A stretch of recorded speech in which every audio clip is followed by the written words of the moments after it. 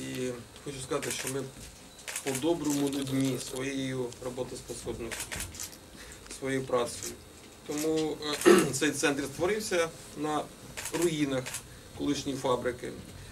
Тому тут створено державне підприємство, тому і в тому числі і селища ми зробили місто не так давно, єдине в Україні за цей невеликий проміжок часу. Але це все говорить про те, наскільки, наскільки е, люди, працівники центру, наскільки ми всі, які дотичні до Решетилівки, е, хочемо тут перетворення. Дійсно, логістика тут шикарна.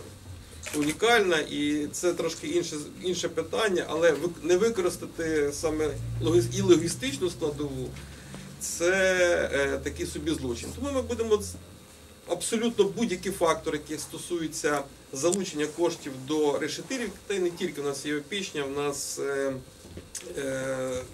наші промисли по всій області, підтримувати їх це абсолютно правильно і з обласного бюджету, і з місцевих бюджетів. І коли буде синергія таких зусиль бюджетів місцевих і бюджету державного, то це найбільше буде найвдаліший такий, мабуть, експеримент. З приводу е, подальшої долі нашого центру, я абсолютно переконаний і впевнений в тому, що ми відродимо його, тому що зали будуть наповнені е, обладнанням сучасним, тому що в, на робочих місцях будуть сидіти випускниці нашого художнього ліцею.